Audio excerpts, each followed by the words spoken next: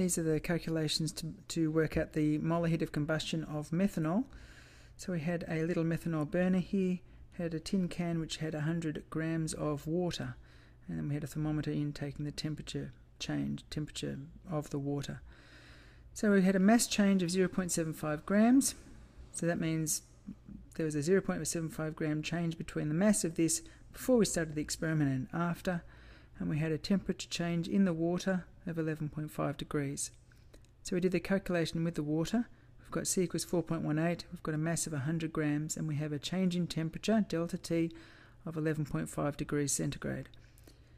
We use delta H equals mc delta T, so we've got 100, which is the mass, times 4.18, which is the heat capacity of water, which is our capital C. We've got a delta T, which is 11.5 degrees. So we get 4,807 joules, which works out at 4.807 kilojoules. So we can say that 0.7 grams of methanol, so that's our mass change of methanol, 0.7 grams of methanol gave off 4.807 kilojoules, because that's the amount of energy that was used to heat up the water in the, in the tin can.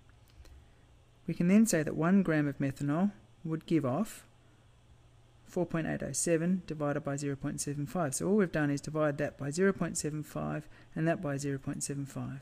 So we're working out the energy per gram and that's 6.4093 repeater kilojoules. And we know that the molar mass of methanol is 32.042 grams.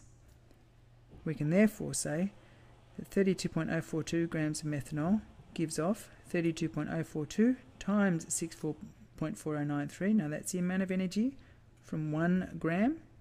So we want to work out the energy for 32 grams. We just times that times that, and we get 205.37 kilojoules.